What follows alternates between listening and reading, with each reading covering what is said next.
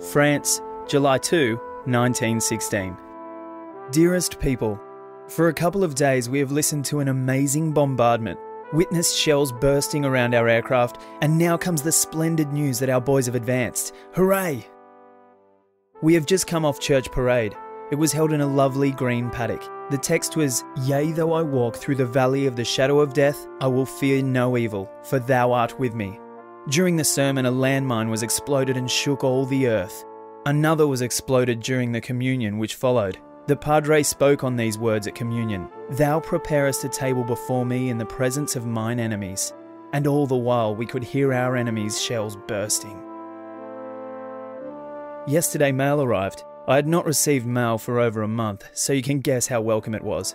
There was a letter from mother, one from father, Vivi, Lloyd, Clive, Jim, two chronicles from father, two letters from Gladys, and one from the Maloneys, and a letter also from Miss White. France, July 13, 1916. Dearest parents, yesterday Fritz was very annoying, smashed up our parapet, so today we have been patching up. Although I've been in the front line, I have done no fighting.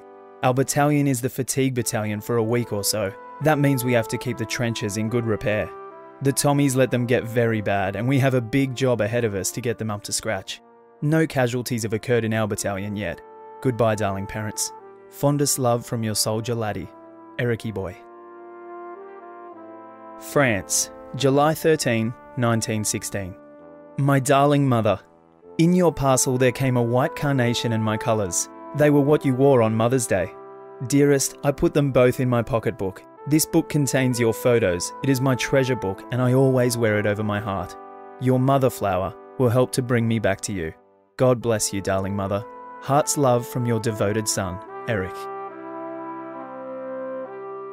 France, July 15, 1916.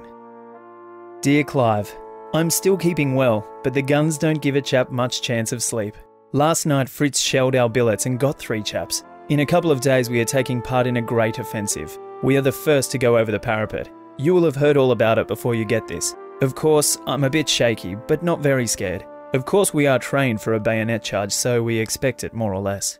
Well, Clive, old chap, I'm writing this to you because you will know something of what is doing should anything happen. I feel sure that God will watch over me and pull me through. Cheerio anyway. Love and thanks from Brother Eric.